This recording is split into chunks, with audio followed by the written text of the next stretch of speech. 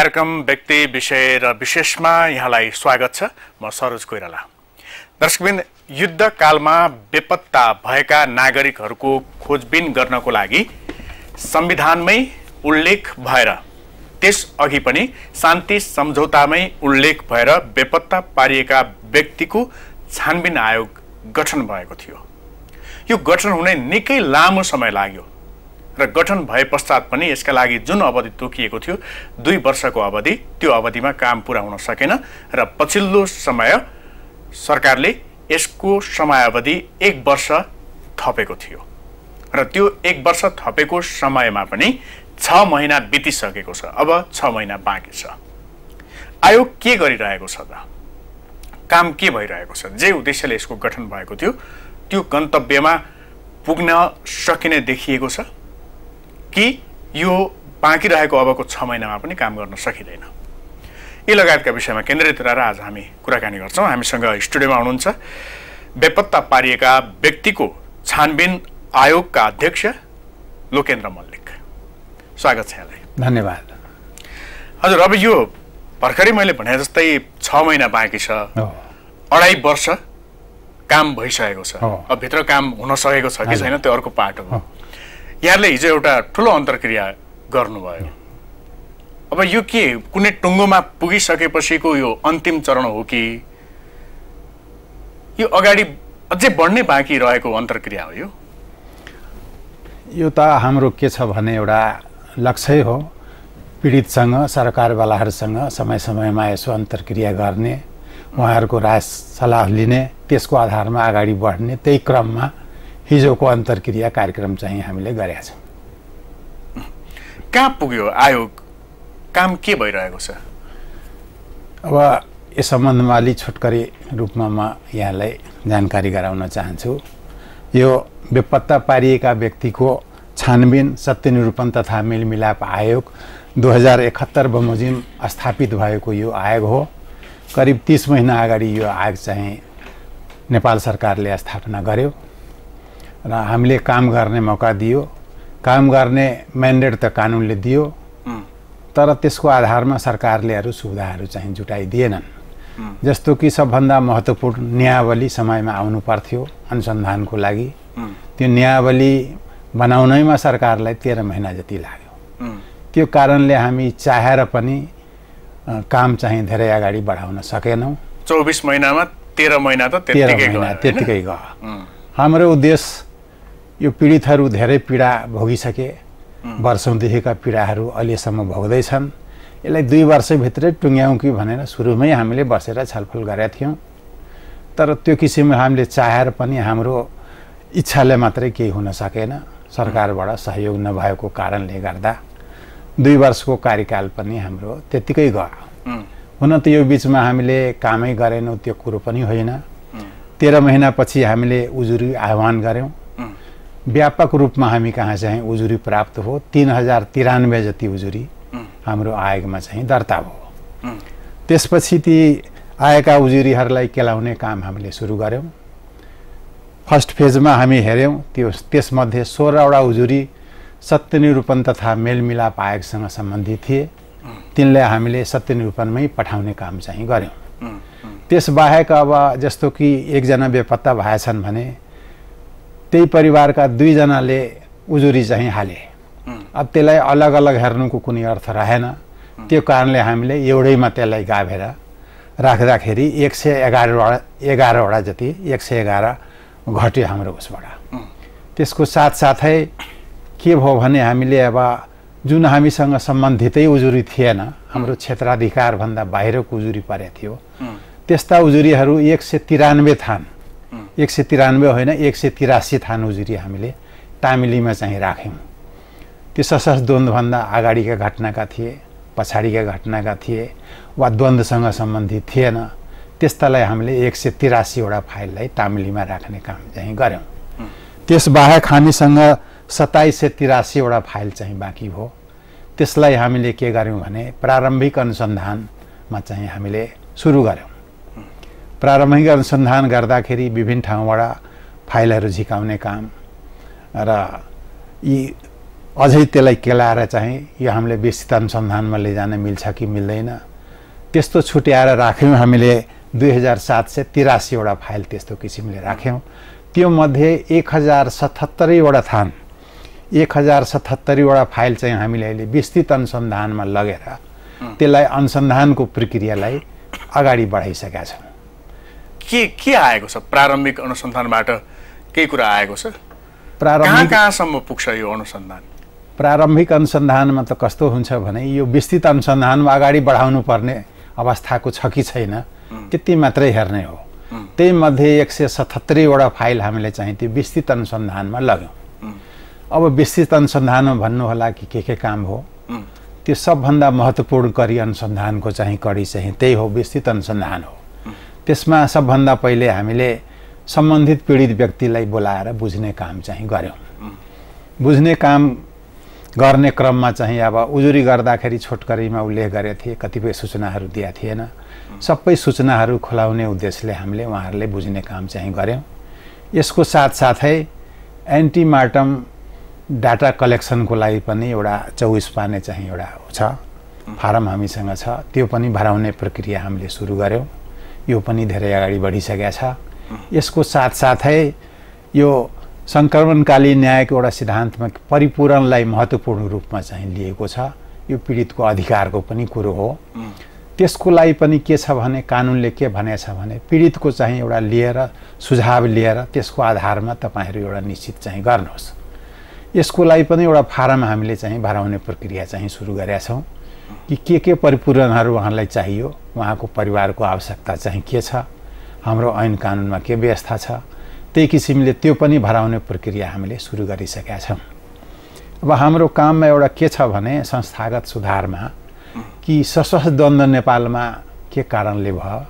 त्यो पनि आयोगले पत्ता लगाइदिनु पर्ने दायित्व हामीले पाएछौँ र भविष्यमा यसलाई नदोहोरिनलाई के के उपायहरू अवलम्बन गर्नुपर्ने हुन्छ? त्यसको लागि पनि हामीले यो बुझ्ने कामहरू चाहिँ गरिरहेछौँ। यो कारणमा चाहिँ कहाँसम्म पुग्नु भयो यो अगाडि बढेको छ यो काम? बढ्या छ।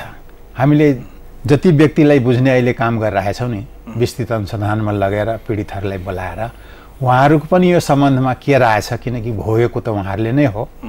के कारणले यो द्वन्द्व हो र यसलाई भविष्यमा चाहिँ रोकथामको लागि के उपायहरू अवलम्बन गर्नुपर्ने हुन्छ? पीडितको लागि के कस्ता किसिमका कानुनहरू बनाइदिनु पर्ने हुन्छ? यो सम्बन्धमा पनि सुझाव सङ्कलन गर्ने काम हामीले चाहिँ गरिरहेछौँ। यसको साथसाथै के थियो भने अहिले जति उजुरीहरू परे परे जम्मै त्रिहत्तर जिल्लामा मात्रै परे। दुई जिल्लामा चाहिँ मनाङ र मुस्ताङमा एउटा पनि उजुरी चाहिँ परेन। अब भन्नु होला त जहाँ परेन त्यहाँ त आयोगले हेर्ने कुरो होइन होइन। हामीले त्यसमा पनि गम्भीरतापूर्वक विचार गऱ्यौँ। त्यो दुई जिल्लामा चाहिँ किन एउटा पनि उजुरी परेन? किन चाहिँ द्वन्द्व हुन सक्यो भएन त्यहाँ? यदि यो कारण हामीले पत्ता लगाउन सक्यौँ भने अन्यत्र पनि रोकथामको लागि एउटा उपाय अवलम्बन गर्न सकिन्छ कि त्यहाँ पनि खोज्ने प्रयासमा हामी चाहिँ लागिरहेछौँ। यो आयोग आफ्नो गन्तव्यमा पुग्ला। पीडितले अधिकार पाउलान्। जस्तो के टिका टिप्पणी पनि हुने गरेको छ भने राजनीतिक दल र तिनका नेताहरू नै यो आयोग र यसको कामप्रति उदासीन छन् अहिले पनि। सहयोग भइरहेको छैन। किनभने धेरै कुराहरू त्यहाँ मुछिन आउँछ नि भोलिका दिनमा होइन? यो कुरा सत्य हो। सत्य भनौँ कि के भनौँ भन्नलाई अलिकति अप्ठ्यारै हामीलाई भयो। अब हामीले चारवटा म्यान्डेट पाएको हो एउटा सत्यको खोजी गर्ने। त्यो कुनै व्यक्ति विशेषले दिएको होइन कानुनले दिएको हो। त्यसपछि अब पीडकलाई चाहिँ सजाय गराउन महानियोक्ता कार्यालयमा लेखेर पठाउने हो कारवाहीको लागि। तेस्रो चरणमा परिपूरणको लागि हो। चौथोमा संस्थागत सुधार हो। तर पहिल्यै चरणमा हामीलाई एउटा के समस्या पर्यो भने कतिपय मुद्दाहरूमा हामीले अनुसन्धान गरिसकेका छौँ। तर मुद्दा चलाउनलाई कानुन त चाहियो।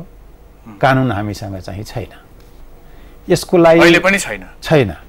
यो आयोग स्थापना भएको छ महिनादेखि नै हामीले प्रयास गऱ्यौँ। त्यसको लागि अहिलेसम्म आज भोलि सरकार गर्दैछ बनाउन सकेका चाहिँ छैन। उसो भए त अब छ महिना मात्रै बाँकी छ। कानुनै बनेको छैन भनेपछि त निकै अप्ठ्यारो छ नि त स्थिति त अप्ठ्यारो त निकै अप्ठ्यारो छ। गन्तव्यसम्म पुग्न त्यति सहिलो चाहिँ छैन। यो राजनीतिक दलकै कारणले हो? उदासीन भएकै हुन् राजनीतिक अब दलहरू। कानुन बनाउने त राजनीतिक दलहरू नै हो होइन? राजनीतिक दलले चाहेन राजनीतिक दलमा इच्छा शक्ति भएन। यो विषयलाई चाहिँ ग्राह्यता दिएनन् भने त यो त आयोग सफल हुन सक्दैन। अहिले त अब द्वन्द्वकालमा बढीभन्दा बढी सत्ताको नेतृत्व गरेको नेपाली कङ्ग्रेस र स्वयं द्वन्द्वरत पक्ष त्यति बेलाको द्वन्द्वरत पक्ष अहिलेको माओवादी केन्द्रको गठबन्धनको सरकार छ। शेरबहादुर देवाकै पालामा चाहिँ नै द्वन्द्वको सुरुवात भएको थियो। भनेपछि त अहिले त सजिलो हुनुपर्ने नि यी दुवै पक्ष चाहिँ सरकारमा छन्। होइन? के अप्ठ्यारो चाहिँ बढी छ आयोगलाई? अब हामी त के भयो भने करिब करिब यो आयोग स्थापना भइसकेपछि अब त्यति बेला सुशील कोइराला हुनुहुन्थ्यो उहाँदेखि लिएर त्यसपछि अब ओलीजी हुनुभयो। अब बिचमा प्रचण्डजी हुनुभयो। अहिले देउबाजी हुनुभएछ। सबैसँग हामीले सम्पर्क गऱ्यौँ। सहयोगको लागि चाहिँ हामीले अनुरोध गऱ्यौँ। कुन सरकार चाहिँ अलिक उदार देखियो कि उस्तै उस्तै प्रकृतिका सबैतिरबाट सहयोगको लागि चाहिँ कसैले पनि इन्कार गर्नु भएन। हामी चाहिँ तपाईँहरूलाई प्रत्येक कुरामा सहयोग गर्न तयार छौँ तत्पर छौँ भने भन्नुभयो। त्यो त संविधानले नै भनेको छ शान्ति। सम्झौताले भनेको छ। त्यो त भन्नै पर्यो। तर व्यावहारिक रूपमा चाहिँ व्यावहारिक रूपमा कहीँबाट पनि जुन चाहिनुपर्ने सहयोग हो त्यो हुन सकेका चाहिँ छैन। बाहिर जसरी टिका टिप्पणी भइरहेको छ राजनीतिक दल सरकार तिनका नेताहरू सरकार सञ्चालन गर्नेहरू उदासीन छन् भन्ने कुरा सत्य हो उसो भए सत्य हो त्यही देखिन्छ। त्यही देखिन्छ। यो त अब छ महिना बाँकी रहँदाखेरि पर्याप्त कानुन नै आइपुगेको छैन भन्ने कुराले नै प्रश्न भयो। यो त बोलिरहनु भनिरहनु पर्ने कुरा नै भयो र दुईवटा कुरा छ। हामी चाहिँ यहाँ पीडितहरूको माझमा गएर कुरा गर्दा उहाँहरूले दुईवटा कुरालाई बढी ग्राह्यता दिनुहुन्छ। कि एउटा चाहिँ के छ अब हामीले न्याय पाउनु पर्यो? न्याय पाउनलाई त कानुन चाहियो। कानुन बेगर त न्याय त पाउन सक्दैनन्। अर्को कुरो परिपूरणको कुरो। कमसेकम तपाईँहरूले परिपूरणको त सिफारिस गर्नुहोस्। हामीले के के पाउने हो? त्यो कुरा पनि निर्धारण भयो भने अलिकति हामीलाई राहत हुन्छ कि भने भनाइ चाहिँ उहाँहरूको हो। अब त्यसमा पनि हामीले के समस्या छ भने नियावलीमा जम्मा तिन लाख रुपियाँ क्षतिपूर्ति पाउने भनेर उल्लेख गरिदिएको छ। एउटा सामान्य सवारी दुर्घटनामा कोही मान्छे पर्यो भने तिनका परिवारले दस लाख रुपियाँ क्षतिपूर्ति पाउँछ। शहीद घोषणा चाहिँ हुन्छन्। तर त्यत्रो पीडा भएको मान्छेलाई तिन लाख लाखको सिफारिस हामीले गरिदिएर त्यस्तो गऱ्यौँ भने वास्तवमा न्याय त पाउँदैन। त्यो कारणले त्यसमा पनि अब कानुनमा सुधार हुनु पर्यो न्यायावलीमा सुधार हुनु पर्यो। त्यो सुधार नभएको कारणले पनि परिपूरणमा पनि सिफारिस गर्न हामीले समस्या परिरहेछ। भनेपछि अब छ महिना भनेपछि माघ समय माघ छब्बिस? गतेसम्म। माघ छब्बिस गतेसम्म। भनेपछि त माघ त धेरै हिसाबले महत्त्वपूर्ण महिना भयो यो वर्ष त होइन। माघ सात गतेभित्र तिनै चरणको निर्वाचन पनि सम्पन्न गर्नु छ। अब माघ अ, भित्रै बेपत्ता छानबिन आयोगको पनि समयावधि सकिँदैछ। त्यसपछि के हुन्छ?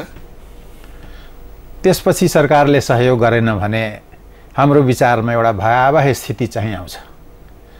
नेपालले यो प्रक्रियालाई नै टुङ्ग्याउन नचाहेको जस्तो सन्देश चाहिँ संसारभरि जान्छ। त्यो गएपछि यसको अन्तर्राष्ट्रियकरण हुन्छ। अहिले त शान्ति प्रक्रिया टुङ्गो लाग्नु भनेकै निर्वाचन सम्पन्न भएर एउटा व्यवस्था स्थापित भयो भने हुन्छ भन्ने जस्तो अहिले त्यो व्यवहारमा कता कता भनाइहरूमा त्यो कता कता देखिन्छ। यो सत्य निरूपण त्यसै गरी बेपत्ता छानबिन आयोगको काम टुङ्गोमा नपुगिकन गन्तव्यमा नपुगिकन वास्तवमा शान्ति प्रक्रिया अथवा यो नयाँ चरण यो नयाँ सन्दर्भमा हामी जहाँ आइपुगेका छौँ यो स्थापित हुन्छ वास्तविक रूपमा? यो हुँदैन। यो दुइटै आयोगहरू खास गरेर शान्ति प्रक्रियालाई यो तार्किक निष्कर्षको रूपमा पुर्याउने उद्देश्यकै लागि गठन भएको हो। र अन्तिम कडी पनि शान्ति प्रक्रियाको अन्तिम कडीको रूपमा पनि आयोगहरू कार्यरत चाहिँ छन्। आयोगहरू सफल भएन भने शान्ति प्रक्रिया चाहिँ कुनै हालतमा यो सफल हुन सक्दैन। यो आयोगले आफ्नो काम गन्तव्यमा पुर्याउन सकेन भने एउटा घाउ खाटा चाहिँ बसिरहला होइन जसमा चाहिँ राष्ट्रिय अन्तर्राष्ट्रिय विभिन्न शक्तिहरूले बेला बेलामा खेल्ने मौका पाउलान्। चाहे त्यो मानव अधिकारको नाममा होस् या अन्य कुनै नाममा होस्। त्यस्तो स्थिति छ? अहिले देखिन्छ त्यो। देखिन्छ देखिन्छ। यदि यो छ महिनाभित्र पनि सरकारले हामीलाई सहयोग गरेन ऐन बनाइदिएन जनशक्तिको व्यवस्था गरिदिएन भने निश्चित रूपमा त्यो अवस्था आउला जस्तो लाग्छ हामीलाई। एक दशक कटिसक्यो। हजुर। संविधान बन्यो। स्थानीय तहको निर्वाचन सम्पन्न भयो सम्पन्न हुँदैछ। अब असोज दुई गते क्रममा पश्चात अब त्यस पश्चात दुई चरणका निर्वाचन निर्वाचन पनि होलान्। गर्नै छ। हामी कहाँ यो राजनीतिक व्यवस्थापन गर्नको लागि चाहिँ जसरी भए पनि गर्ने अलिकति सामाजिक प्रकारको भनौँ या मानव अधिकारसँग सम्बन्धित यस्ता विषयहरूमा चाहिँ त्यति ध्यान नजाने प्रवृत्ति छ होइन? निश्चित रूपमा त्यही चाहिँ देखियो। यसलाई अलि कम प्राथमिकतामा राखेको कारण त्यही कारणले होला जस्तो लाग्छ। पीडितहरू के भन्नुहुन्छ अहिले? यो अब छ महिना मात्रै बाँकी रहँदा उहाँहरूले पनि बुझिसक्नुभयो होला यो अब छ महिनामा त गन्तव्यमा पुग्न सकिँदैन भन्ने कुरा। त्यस पश्चातका सरकारले अब यसलाई कसरी लिन्छन् भन्ने कुरा पनि निश्चित त छैन अहिले भन्न सकिने अवस्था छैन। के भन्नुहुन्छ पीडितहरू त ज्यादै चिन्तित छन्। पीडितहरूलाई त छिटोभन्दा छिटो न्याय चाहियो भने उहाँहरूको भनाइ छ जहाँ पनि जाँदा त्यही कुरा उहाँहरूले गर्नुहुन्छ। अब सरकारले यसको गम्भीरतालाई बुझे जस्तो चाहिँ लाग्दैन। वा बुझेर पनि समय दिन सकेका छैन। त्यो सरकारको पार्टको कुरो हो। अब न्याय पाउन त पीडितलाई वास्तवमा कठिन छ। यो आयोग यो ऐन हेर्दाखेरि के छ भने यस्तो किसिमको आयोग यो अन्तिम आयोग चाहिँ हो यो विषयमा। यदि यो आयोग असफल भयो भने पीडितले न्याय पाउन चाहिँ सक्दैन शान्ति प्रक्रिया टुङ्गोमा पुग्न सक्दैन। सरकारसँग कुरा भएको छ अहिले पछिल्लो समयमा? पटक पटक गएर हामी गर्छौँ। जुनसुकै सरकारको पालामा पनि गएर हामीले धेरै पटक गएर कुरा गरेका छौँ डाइरेक्ट गएर कुरा गरेका छौँ। यो हाम्रो शान्ति मन्त्रालय मार्फत पनि गएर कुरा गरेका छौँ। कुरा हुँदा सबै ठाउँमा सकारात्मक कहीँ नकारात्मक भाव चाहिँ छैन। तर काम भइरहेको छैन चिन्ताको विषय चाहिँ त्यहाँनिर हो। यो कुरा गन्तव्यमा पुग्ने हो भने आयोगले सही ढङ्गले सही समयमा न्यायपूर्ण ढङ्गले काम गर्ने हो भने कहाँ कहाँ जोडिन्छ यो? कस्ता कस्ता व्यक्तिहरूसँग गएर ठोकिन्छ? अब हामीलाई व्यक्तिसँग सरोकार चाहिँ छैन। सत्यको खोजी गरिसकेपछि जुनसुकै व्यक्ति दोषी देखिए पनि तिनलाई मुद्दा चलाउन हामी चाहिँ सिफारिस चाहिँ गर्छौँ। यो र ऊ व्यक्ति भन्ने कुरा हाम्रो उसमा चाहिँ छैन। जुनसुकै पदमा जुनसुकै पदमा जुनसुकै ओहदामा बसे पनि त्योसँग हाम्रो कुनै सरोकार छैन। हाम्रो काम हाम्रो ऐनले दिएको अधिकार सत्यको खोजी गरिदिने हो। त्यो गएर हामीले अब दोषी उप मुद्दा चलाउन महानियालको कार्यालयमा लेखेर पठाइदिने हो। र अब त्यसमा जो पर्छन् पर्छन्। त्यसमा त हामी केही भन्न सक्दैनौँ। तर त्यही कानुन चाहिँ बनेको छैन होइन? बनेको छैन बनेको छैन। मुख्य कुरा त यहाँ छ। हो। शोचनीय कुरा त यहाँ। समस्या यहाँनिर छ। मैले कतै पढेको थिएँ प्रवक्ता विष्णु पाठकको भनाइ कतै पढेको थिएँ मैले सञ्चार। माध्यममै। प्रधानमन्त्री पनि तानिन्छन् हामी छोड्दैनौँ भनेर भन्नुभएको थियो। अब यस्तो छ आयोगले चाहिँ कसलाई तान्ने नतान्ने त्यो भन्न चाहिँ मिल्दैन। आयोगले कारवाही गर्ने होइन। आयोगले सत्य तथ्यको पत्ता लगाएर सम्बन्धित निकायमा चाहिँ सिफारिस गरिदिने मात्रै हो। त्यसले अब हामीले फलानालाई कारवाही गर्छौँ फलानालाई गर्दैनौँ त्यो भन्ने कुरो पनि आउँदैन। उहाँको सायद निजी विचार होला। तर के छ भने हाम्रो अनुसन्धानबाट जे जस्ता व्यक्ति परे पनि त्यसलाई अब छोड्ने अवस्था गर्ने सन्दर्भमा भन्नुभएको। होला। दोषी देखिए जुनसुकै पदमा रहेकोलाई पनि उन्मुक्ति दिन सकिँदैन भन्ने नै भनाइ हो उहाँको। अब हामीले अनुमति दिने होइन त्यो अदालतले गर्ने कुरो हो। प्रमाणबाट त्यस्तो देखियो भने हामीले मुद्दा चलाउन पठाइदिने हो। अब अदालतले के गर्ने हो त अदालतको विषय हो त्यो हामी बोल्ने कुरो पनि भएन। अहिले त यी विषयहरू अलिक ओझेलमा परेका छन् नि होइन? जस्तो बेपत्ता छानबिन आयोगका कामहरू सत्य निरूपणको कामहरू। अहिले अलिकति अर्कै ढङ्गले अगाडि बढिरहेको छ नि देश होइन? अलिकति अप्ठ्यारो महसुस या सबैतिरबाट असहयोग या यसमा व्यवस्था भएको महसुस गर्नु भएको छ कि छैन यहाँले? अध्यक्ष अरू सबै निकायबाट त सहयोग भइरहेकै छ। खास गरेर सरकारबाट जुन सहयोग हामीले पाउनु पर्ने हो त्यसमा सरकार अलि उदासीन जस्तो चाहिँ देखिन्छ। अरू निकायबाट त सहयोग भइरहेको छ कतैबाट सहयोगमा कमी चाहिँ छैन। र हामीले अब जे जति अहिलेसम्म अब गर्नुपर्ने हो त्यो काम पनि अगाडि गरिरहेछौँ। त दुईवटा कामले अड्किरहेको एउटा कानुनको अभावले गर्दा अड्किरहेछौँ अर्को जनशक्तिको अभाव। जस्तो कि एक हजार सतहत्तरीवटा फाइल हामीले चाहिँ विस्तृत अनुसन्धानमा लगेको कुरा अहिले नै मैले निवेदन गरेँ। त्यसलाई हामीले अनुसन्धान गर्न छवटा टिम चाहिँ बनाएछौँ अनुसन्धान टोली गठन चाहिँ गरेका छौँ। त्यो बाहेक हामीसँग कर्मचारी पनि छैन हेर्नुहोस्। कर्मचारीको लागि पटक पटक माग गरिरहेछौँ तर सरकारले दिन सकेका चाहिँ छैन। अब सरकारले कर्मचारी नै दिएन भने यो छवटा टोलीले कतिसम्म गर्ने होला यो? चाहेर पनि छ महिनामा के हुने अवस्था चाहिँ छैन। यो कामलाई मुख्य रूपमा अगाडि बढाउन या गन्तव्यमा पुर्याउन आवश्यक पर्ने दुईवटा मुख्य साधन कानुन र जनशक्ति। जनशक्ति। त्यसैको अभाव छ भनेपछि। त यहाँलाई कस्तो लाग्छ जस्तो एउटा उद्देश्य लिएर यहाँले पनि नेतृत्व स्वीकार्नु भयो होला म यो काम गर्छु एउटा ऐतिहासिक काम हो भनेर यहाँले काम गर्ने एउटा जागर देखाउनु होला। तर अहिले यहाँले भनिरहनु भएको छ त्यो अनुसारको काम गर्न सकिएको छैन विभिन्न कारणले कानुन जनशक्ति लगायतका कुराहरूले। कस्तो महसुस हुन्छ यहाँलाई? हामीले दुःख लाग्छ। वास्तवमा जुन उद्देश्य लिएर हामी आयौँ यहाँ कुनै जागिर खाने उद्देश्यले हामीले आए चाहिँ छैन। हामीले यहाँ आएर राम्रो काम गर्दै इमान्दारीपूर्वक काम गर्दै आएर यो शान्ति प्रक्रिया टुङ्गिन्छ भने यो देशकै लागि एउटा गौरवको विषय बन्न जान्छ भनेर त्यो उद्देश्य लिएर आयौँ। तर जुन उद्देश्य लिएर आयौँ त्यसमा चाहिँ सफल हुन सकिरहेको चाहिँ छैन। हाम्रो तर्फबाट कुनै कमी कमजोरी त छैन। तर सबै निकायले सहयोग गर्नु पर्यो। त्यो सहयोगको अभावले गर्दा पनि हामीले चाहेअनुसार सकिरहेको चाहिँ छैन।